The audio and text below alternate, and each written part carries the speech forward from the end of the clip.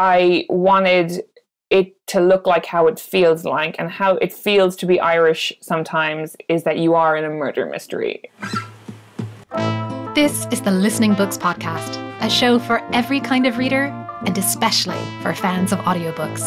Today I'm sharing a conversation with best-selling author and popular podcaster Caroline O'Donoghue.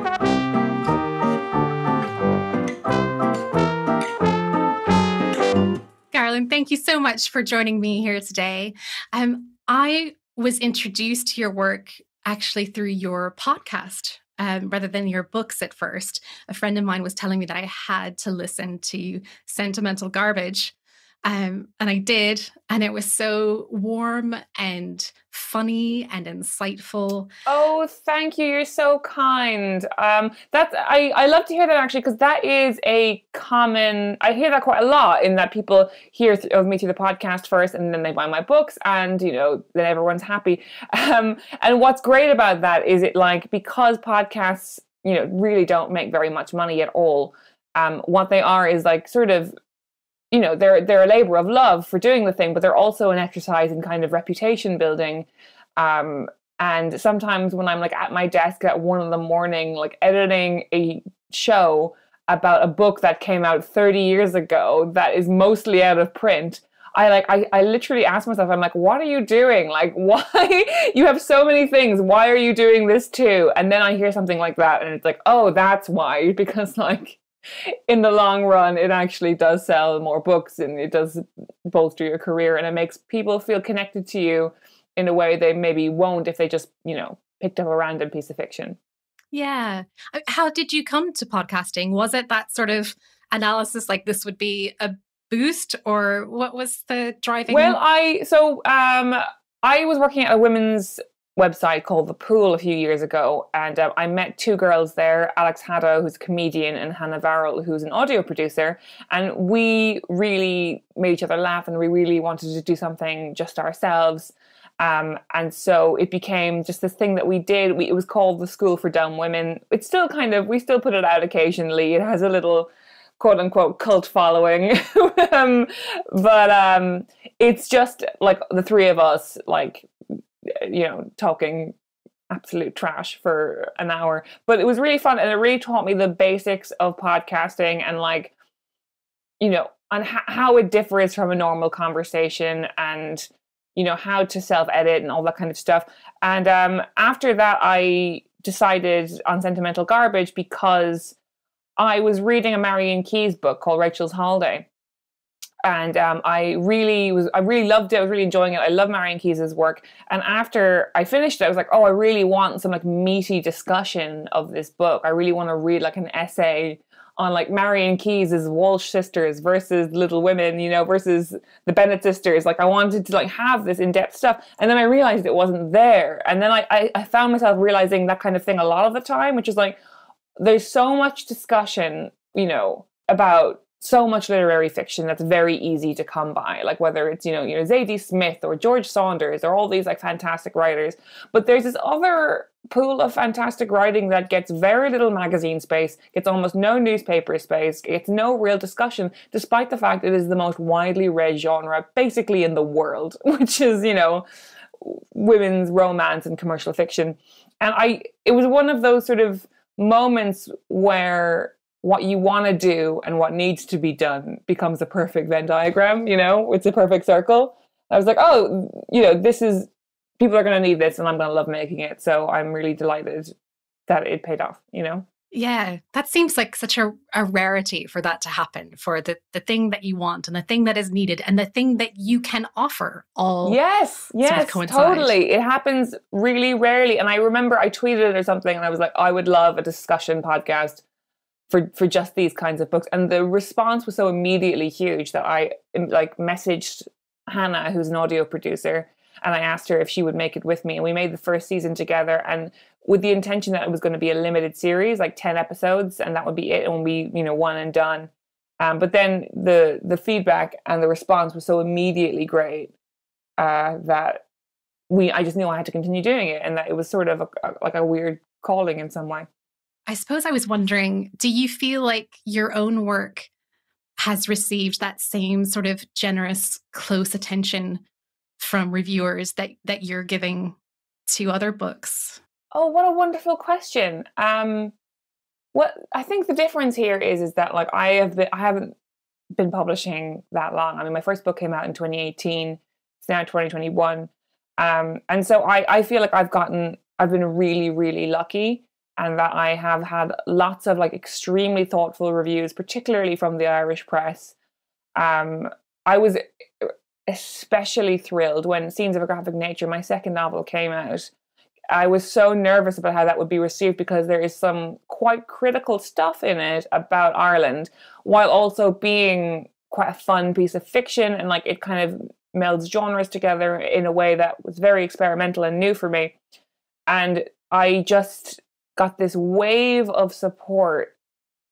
And not, I actually, support isn't once important to me. Like someone saying they loved something or whatever, or just leaving a, a five star Goodreads review and being like, "Yeah, I liked it. Cool." Like that's that's lovely. But like when someone really understands what you're trying to say, I mean that's why you write, right? You write to be understood, and when you feel understood, it is an incredible feeling, even if that understanding comes with criticism. However, I think the for me to get the level of uh, you know someone discussing my work the way I discuss other people's work, I think I do need the benefit of time because one of the things I also love about the podcast is that we don't just analyze the book, we analyze the context of the book as well. Um, like you know a lot of the, this stuff came out in the like mid 80s or early 90s and when you really drill down into you know what attitudes were at that time it really has it it just places it within a really interesting context. So i would like i really would love in like 20 years time to have like you know a 30 year old when i'm 50 being like oh god well of course you know 2018 was the year of the blah you know? So i would love that one day yeah. Yeah. Well i think they'd have a lot of material to work with. Um the one that I listened to recently is uh, "Promising Young Women," and I have to say I had to fight for the copy because oh, wow. because as soon as we got it into the library, basically all the copies were borrowed. Um, it it's That's great. It's very it's very yeah. popular, but I say that um, that there's plenty to work with just because you've got so many layers built into "Promising Young Women" mm. that allow it to really explore and examine um, women's desires and internal life. And I was just noticing how, besides a very self aware first person narrator, you've also got her um, her job in in marketing, which is trying to exploit women's yeah. um, vulnerabilities and their their fantasies and guilt trips and mm. and then you've got her moonlighting as an agony aunt as well where she also gets yeah. to analyze the underlying emotions and desires and whatever um I mean, because these feel like very intentional choices to allow you to do that. I kind of wondered, were there other occupations that you considered for Jane? Oh um, wow, that's so interesting. First of all, thank you so much for that that read and that and that lovely compliment because you came out three years ago now, and um, yeah, it's been a long time since anyone sort of talked to me about it directly, and it's just really lovely to hear. Um, because obviously, you know, it came out in 2018. I sort of finished writing it in 2016, so it feels like even further away, and I was even younger then, and and now it just feels like quite embarrassing or something. But um, uh, the thing with, and this is something I actually tell all people who want to write fiction or novels or whatever and don't know where to start is you take something that you know really well and then you sort of change it and keep changing it and pretty soon it will be an entirely different thing. I think a lot of women especially they're afraid of being accused of being working autobiographically because you know that's the thing that like everyone dismisses female art as being right? So i i meet a lot of young girls and they're like oh i've um you know i'm gonna like set my novel during the you know Al- Albanian genocide or something and it's like well do you do you really know that much about that or are you just sort of looking to be extremely serious and to be taken seriously? Um and so what I always recommend is just sort of go go back to the beginning go back to what you really really know well and just keep tweaking as you go. And what I really knew well was the world of marketing. Um I had worked in a large advertising agency for three years and a kind of smaller agency before that. And I found it a really interesting job because it's populated by people who sort of commend themselves on how well they read humanity right? That's what marketing is. It's a lot of people coming into rooms being like, well, what's a mom in Berkshire going to do with that kind of thing? And they sort of, they invent, it's like almost a form of novel writing of itself, marketing, because it's like they invent these people for you to sell to who don't exist, but who are supposed to be facsimiles of people who do exist.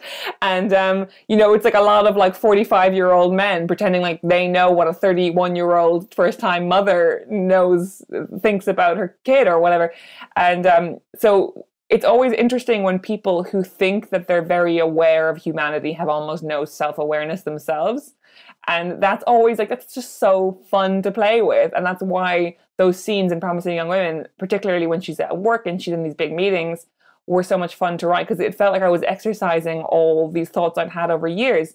And I really wasn't that concerned over whether or not it was going to be too autobiographical or whatever um, because I was changing and tweaking so much as I was going, and I had built this kind of magical realism plot into it, where sort of Jane sort of loses her kind of grip on her sanity, and yeah, and that's and so no, in answer to your original question, which I've just remembered, um, I I there was never going to be another job for her because that was the job I had in my twenties, and you know that's that's it really.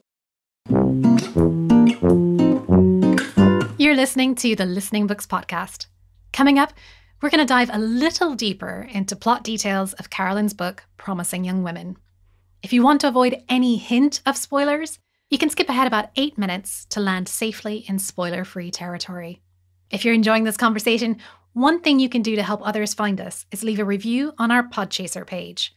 That's podchaser.com forward slash listening books, which I've linked to in the show notes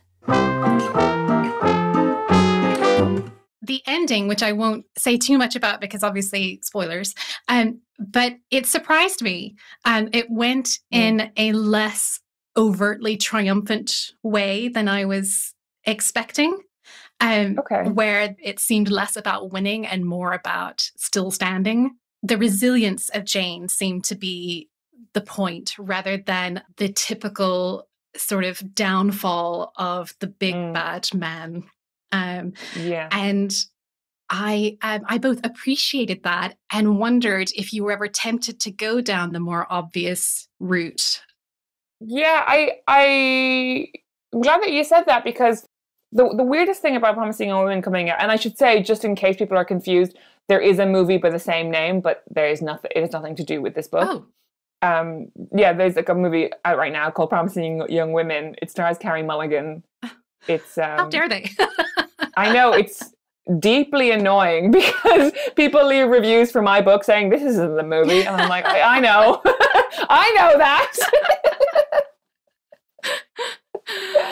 um, but uh, yeah, no. So the the strangest thing about it coming out was that it came out in in June 2018, and a couple of months previous, maybe maybe less than a month, I can't quite remember the timeline. Um, the Me Too movement happened, and um, it, it it sort of became this moment, this sort of summer. I think that every woman is going to of our generation is going to remember probably for as long as we live, where it was like everything everything changed but also nothing changed. It was this thing of like well this man you know the, it was like this this huge statue that was like harvey weinstein was pulled down in the town square and then all these smaller statues got pulled down as well. It was all these people that were being um, revealed as, as sort of abusers and not just people who had abused women but who had silenced them as well by you know these these non-disclosure agreements all these things all this infrastructure that was there to protect these men and you see the weird thing is, is that even though i had written this book by the time that it all happened you see that in promising young women as well you see um so jane's boss clem sort of has a romantic relationship with her and then although the relationship is totally consensual when it begins, it becomes this sort of like closing cage of lack of options for her within her workspace. And it's this thing of like, there's this entire infrastructure that's there to protect him. Like, there's a scene in it where they're both called into HR because, you know, this kind of relationship is non is against the sort of policy of the agency they work at. And they say to Jane, like, you know, we're going to have to give you disciplinary hearing about this. Um, but also because we recently gave you a promotion, you're still technically on like parole. So um, we're going to have to suspend you. And and it's like this sort of drilled, and she's like, what? Like, and and then meanwhile, he literally says, he's like, I'm going to come get and get my disciplinary later. And then he walks out, like, walks out of the room. It is the most infuriating moment in fiction I've experienced in some time. I have to say, it was. I was so indignant listening to it, and yet it was all. Um, so very believable, and the entrapment as well by HR into getting her to into, yeah. you know, pretending to be her friend and to, to get her to admit to this and it's really yeah and, and it's this thing of and i remember i had a, a conversation with my editor when that i turned in that scene and she was like you know maybe we need the stakes to be a bit higher. What if they fired jane?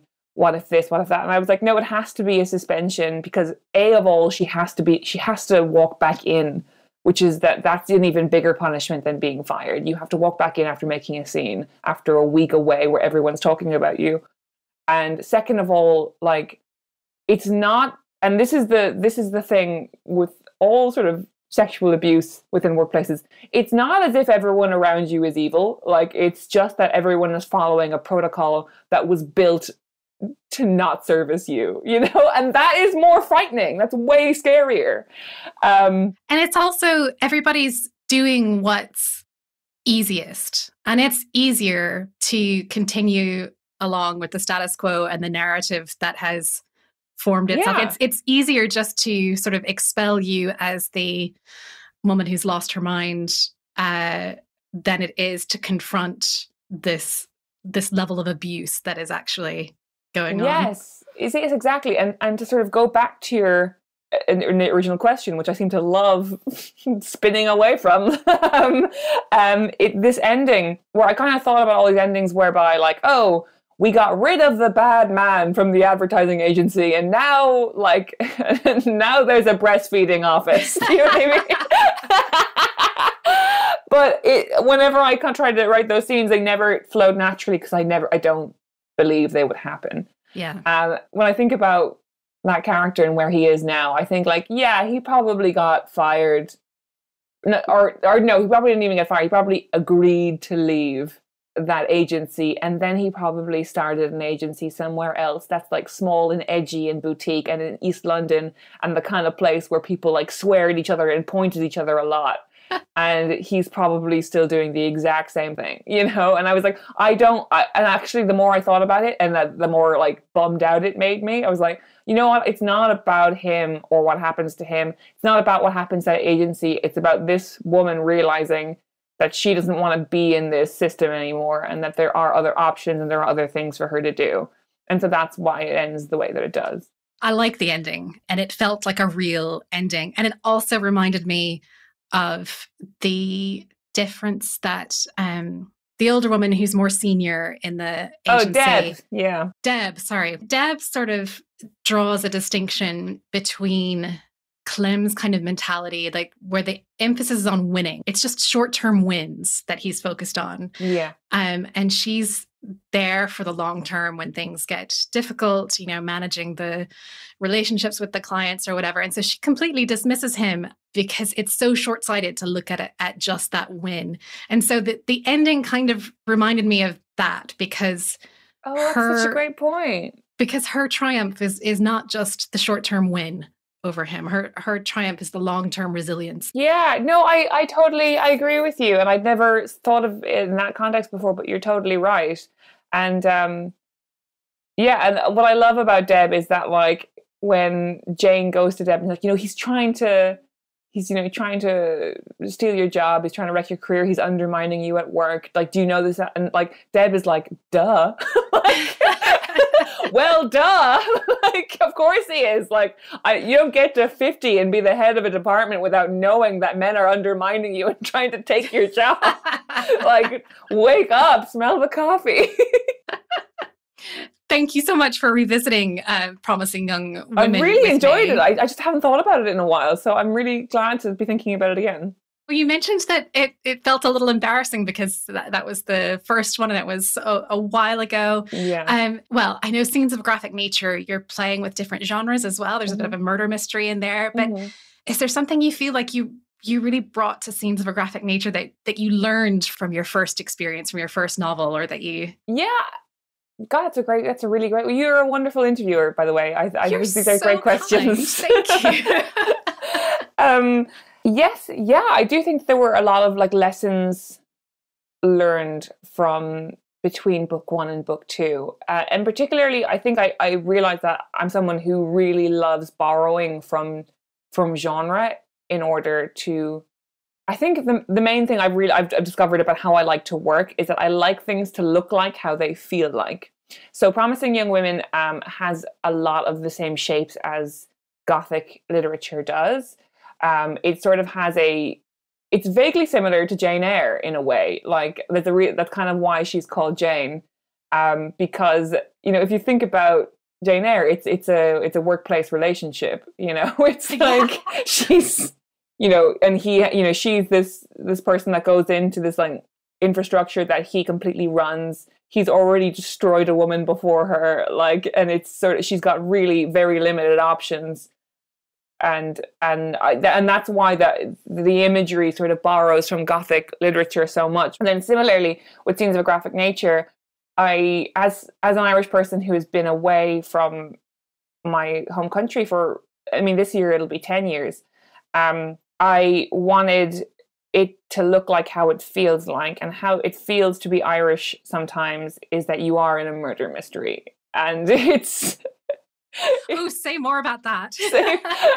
um, it feels like the thing about being Irish is that every six weeks to three months, something horrible comes out in the paper, and you oh. open your email from the Irish Times that you get every morning, and it says, you know, um, Bishop, you know, responsible for the cover up of the death of 13 children or something or or something like that the the big one that is referenced in scenes of graphic nature several times is Tuam which is a a, yeah. a place in Galway where uh, there was a mother and baby home where basically a mass grave of children's remains were found near it and um, the weirdest thing about it was that the grave the grave was discovered in the 70s and the police looked into it, and I think they told local people that um, it was a mass grave left over from the famine, and people built a shrine to it, and people like you know prayed to it and stuff, and people wanted to remember, but they were remembering the wrong. People wanted to honor the dead, but they were honoring the wrong dead, mm. and it, and for the wrong reasons, and I was really arrested by this image of like we're so caked in all this trauma left over by both the British Empire and the Catholic Church and because we're so alienated from our own paperwork like like even like recently a huge report a really groundbreaking report happened over the church abuses in Ireland. And it's so sad because it took us so long to wrestle this data from the church. And now most of those women are dead like the women who mm. were imprisoned in these laundries. And that's why the sort of shape of a murder mystery was so important to me it's because like sometimes it does feel like you're in a house that's covered in blood and you don't know where the murderer is and all you have is like these chalk imprints on the floor. And so I learned from Promising Young Women that like you can borrow these things from genre and because everyone understands genre because it's all these tropes have existed within our like cultural narrative for hundreds of years and so you can use these things like like the you know like the smoking gun like you know the the gothic house and you can use them to make bigger points about your art. And I realized that's something I, I love doing. Now, uh, you shifted genres again with your latest book, mm. All Our Hidden Gifts. And yes. uh, now it's supernatural and it's uh, young adult or teen fiction. Yeah. Um, what was that like to, to switch into that genre? Well, do you know what's interesting actually? Because I just mentioned that, you know, with, with Promising Young Women, it was a nod to Gothic literature.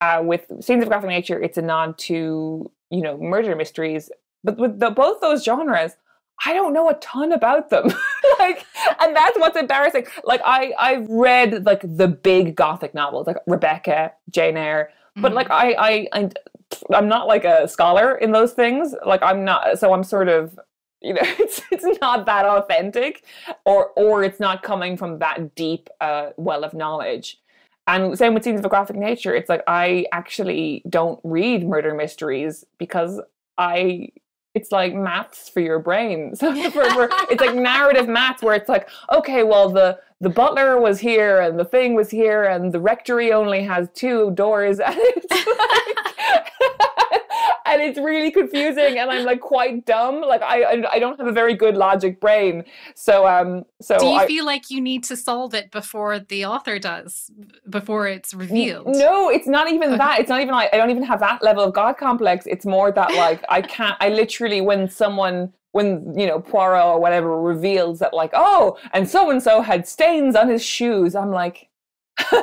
did we know that? Did we did we know that already? I don't know. It's like yeah um, i'm terrible about that as well actually. I can't keep track of those kind of details but the way that i try to solve it is by looking at what i think the author is trying to do like where they're trying to like point me in a different direction. Yeah like i'm yeah. trying to guess second guess the author more than i'm trying to keep up with clues i think no, very that. Yeah, I completely agree. Um, so so yeah, so the, with those two genres, like despite the fact that I was playing with them, I don't actually have very deep knowledge of them. But with um, all our hidden gifts, I'm actually a huge fan of young adult supernatural fiction. It's probably one of my favorite genres to read, um, because I like particularly stuff that came out in like the late 80s and early 90s like margaret mahy and diana wynne jones this sort of really like complex, sort of spooky, haunted narratives that generally have a huge amount to say about,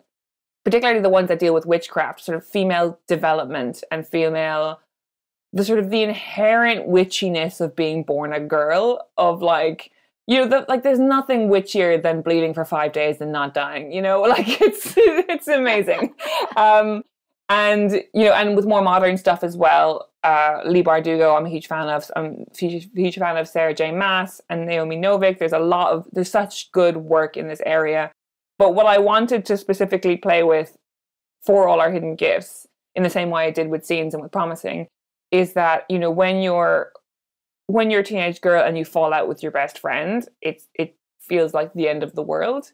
Yeah. And in this book, it is kind of thing. It's so these two girls, um, our main character is Maeve Chambers, and she's a teenager, and she is done that thing that either so many teenage girls have done or have had done to them, where they dump their best friend from primary school because they have an opportunity to ascend the ranks of popularity, but their friend is kind of dead weight on that goal. And mm so she cuts off her friend. She cuts off the only person who's ever really understood or loved her. And then there's like this horrible year where they don't speak. And we meet Maeve at the end of this year and we feel this loneliness radiating off of her. And uh, she's done these horrible things to her friend that she can't undo. And then she finds these tarot cards within her school and she gets really good at them. And she's, you know, t- she's telling everyone's cards and like every, she kind of has that. I don't know if you've been to, you've gone to a girls' school, but like girls' school love fads and like just kind of you know things that just you know make you popular for three days.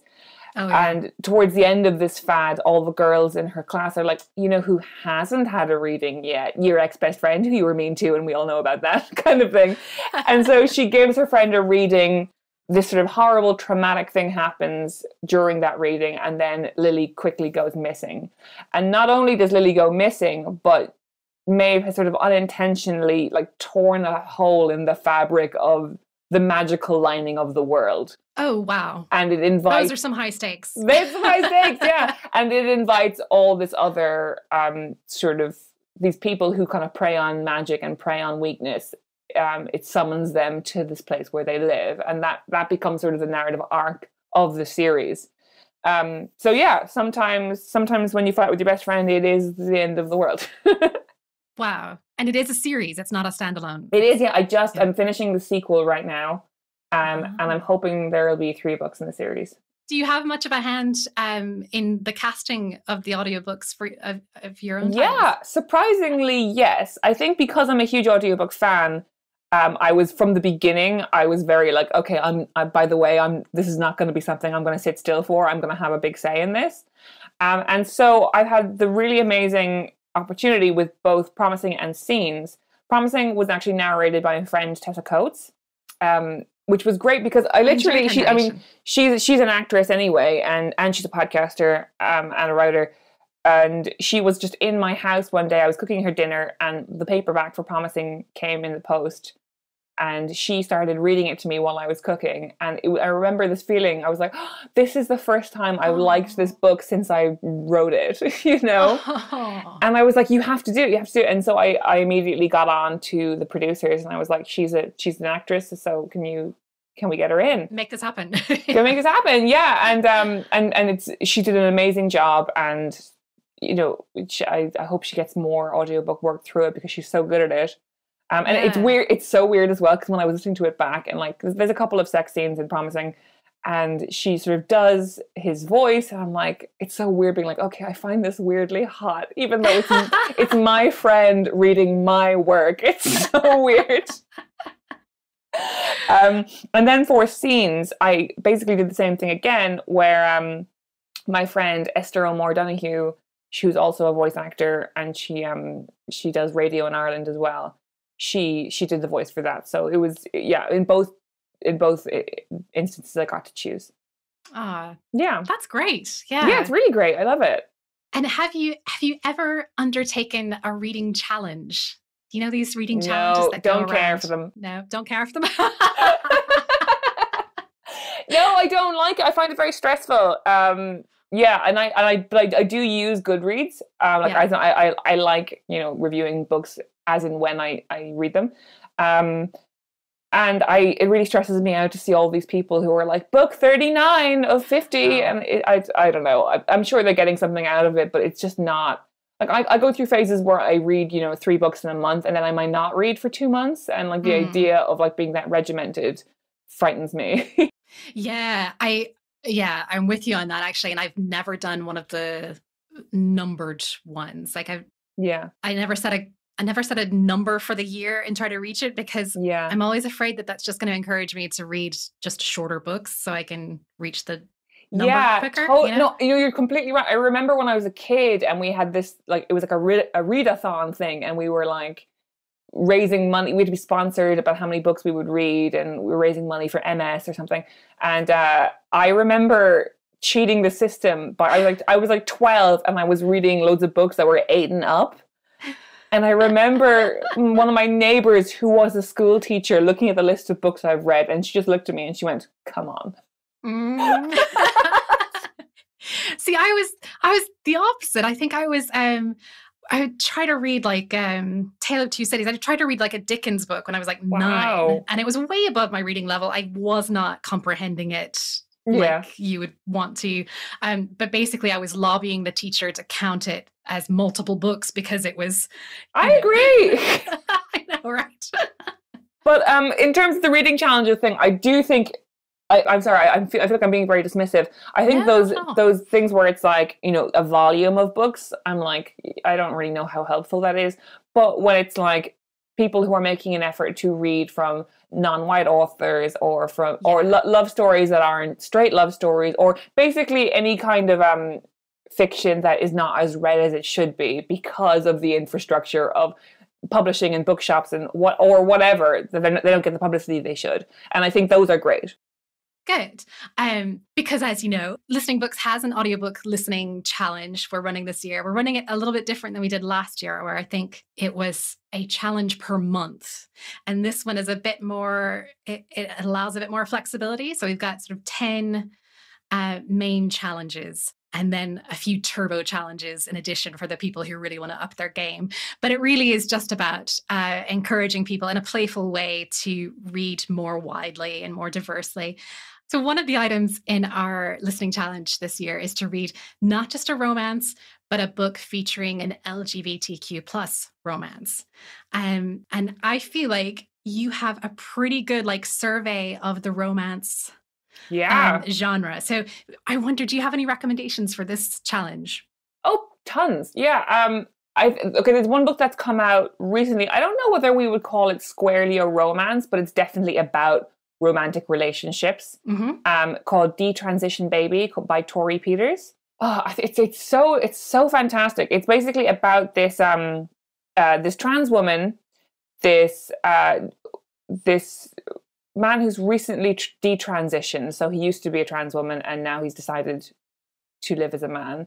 And his cisgendered girlfriend. Sorry, it, it, it, it's much. You know, it's not actually as confusing as I'm making it sound. Um, and uh, basically, he gets his cisgendered girlfriend pregnant, and then they want to raise the baby with his trans ex girlfriend, who's the the main character.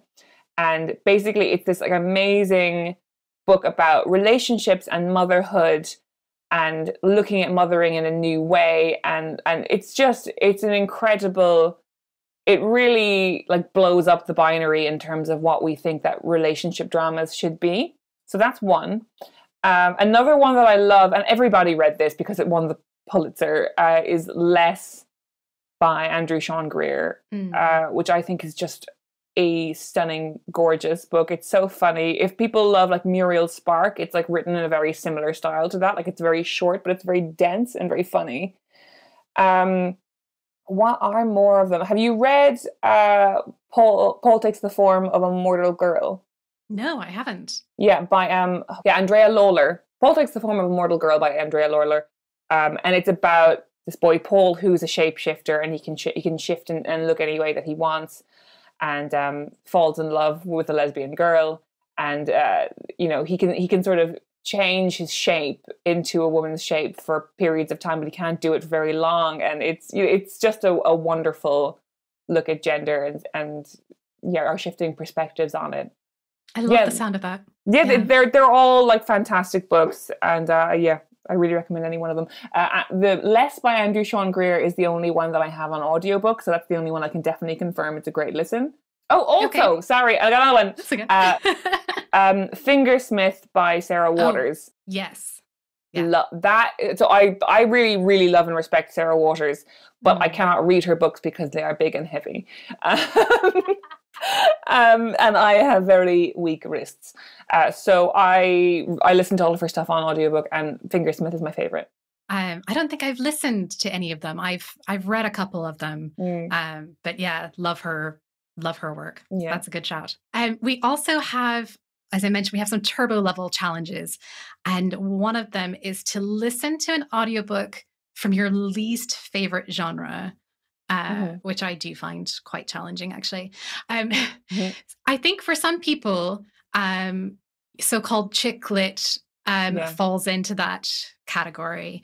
And I just wonder, as a, as a champion of of chick lit yeah. if you might have some gateway recommendations for skeptics sure um so okay circle of friends is one of my favorite books of all time by maeve binchy um and i think like if anyone like people who read like if you read normal people or whatever or sort of Sally this is um this is the ur text for that i think it's like this incredibly deep and beautiful exploration of just like these friends just friends going to college in dublin and all of the sort of the various sort of class collisions and love stories within that and i just think it is one of the most beautiful books of all time and everyone should read it um, so so if you're a person who normally loves a kind of literary fiction sort of thing like Sally Rooney, uh, I would really recommend that book. You're such a good book matchmaker. I love how you're like thinking specifically of the. Thank you. I think about books always, so I, um, I'm, I'm, I love doing it. Um, I then okay if people are like quite into sort of if their guilty pleasure tends to be more celebrity based, like you know looking at celebrities' Instagrams, uh, I would really recommend Who's That Girl by Mhairi McFarlane um, because it is about a it's a, a, really really fun romantic comedy about a woman who has to write like ghost write a celebrity memoir and falls in love with celebrity and he's like a Kit Harington type and it's like it's really really funny it's got really funny things to say about celebrity and about that kind of um celebrity profile writing that everybody hates you know oh yeah um and yeah, I, I really love that book. Thank you so much for such thoughtful recommendations and thoughtful answers. And um, you've been such great company. Um, oh, thank you. You I too. Really you too. This has been a lovely morning. It's a lovely way to spend a Friday morning. Caroline O'Donoghue's books, Promising Young Women and Scenes of a Graphic Nature, are both available as audiobooks to borrow in the Listening Books library, and we're looking forward to the release of All Our Hidden Gifts in May. You can hear more from Caroline on her podcast Sentimental Garbage, and I'll be back next month with acclaimed actor and audiobook narrator Kobna Holbrook Smith. You won't want to miss that, so make sure you're subscribed to the Listening Books podcast through your favorite podcast player, and it'll be waiting for you as soon as it's published. Don't forget to leave a review on podchaser.com forward slash listening books, and you can also find us on Twitter at listening books. We'd love to hear from you.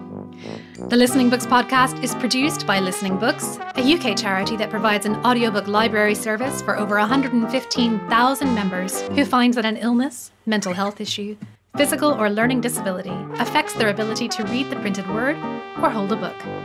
It's simple to join. For more information, head to our website www.listening-books.org.uk.